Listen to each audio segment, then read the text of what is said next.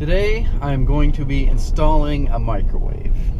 I got this microwave from the property manager close to three weeks ago and it's been in my garage until I had some extra time and today is kind of a weather day on the soffit and fascia.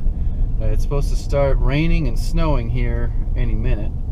Um, I decided to bring uh, Polly with me and I was just pulling up here I remembered that I was working on this house two years ago when I got her. And she came to work with me and was actually in the house as a little puppy, hanging out in the basement as I was building a bathroom. It's just kind of weird. So she's gonna hang out in the truck. Hopefully, there's always a hopefully. This doesn't take very long. Am I on time? I'm one minute late. It's a rental. Now there's nothing really wrong with this microwave. The previous tenants had broke the handle off and had glued it in place before they moved out. When the new tenants got there, they went to pull the microwave open and pulled the handle right off with it. So the only reason I'm replacing this is because the handle is broken off. Still perfectly functional. Now you need to keep in mind that the property manager did not want to repair the microwave. That's why they brought me a brand new microwave to install when I had the time. The property manager also did not ask me to or pay me to repair the cabinet that kind of been hacked apart or redo any ductwork. It was a simple remove and replace and that's it. Get in, do the work as fast as you can, and get out.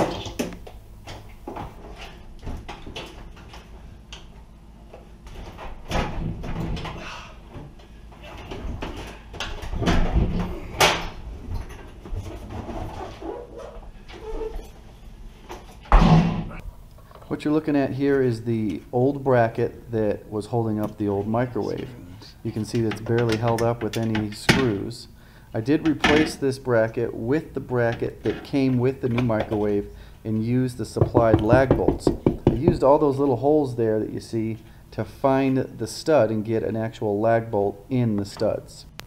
The range that you're looking at right now is completely flat on the floor and it is not adjusted. You can see how unlevel the floor is. The house slants three to four inches from the center line to its outside edge.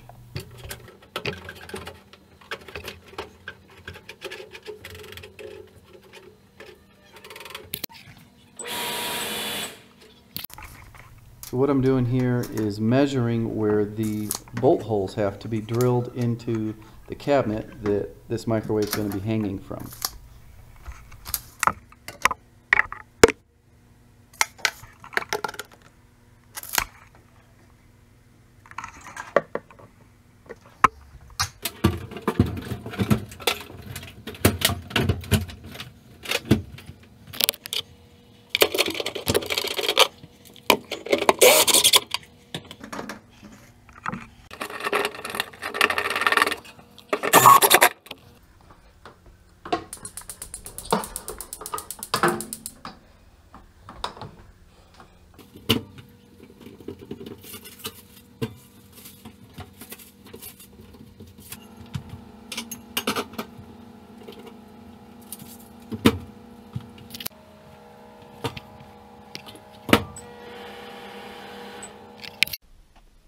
Doing in my seat?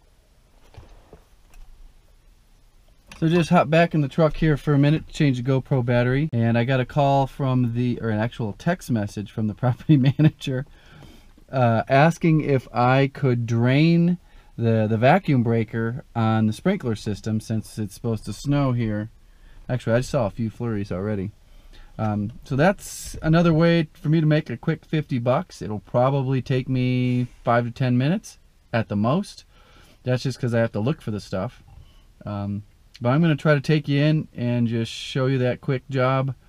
Um, maybe, I don't think it's significant enough to make its own video. I may do a separate video on a different house on how to winterize sprinkler systems.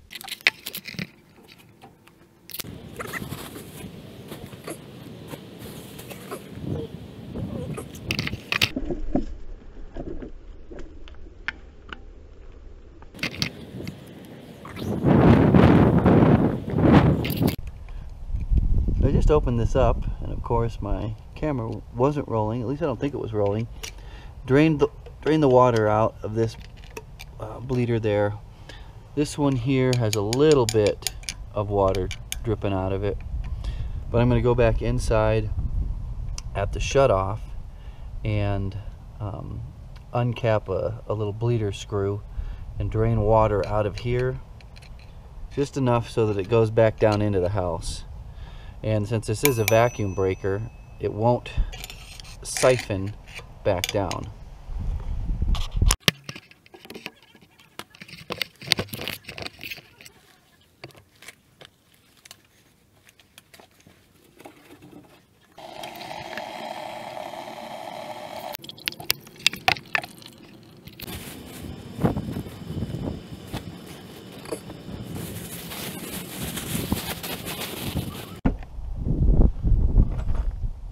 You're in my spot.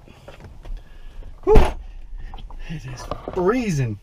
Well, that's how you install a microwave and pick up an extra 50 bucks winterizing or half winterizing a sprinkler system. Like I was saying earlier, um, they're going to need to get all the lines blown out. And a landscaping company usually has a, a trailer that has a huge air compressor that they they run up to those, but couldn't get on the schedule, I guess, and they just needed me to get the water out of that vacuum breaker. Time to go home. Whoa.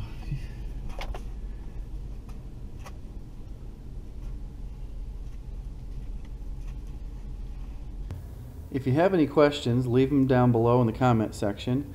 And if you want to see more videos like this, make sure you are subscribed to the channel.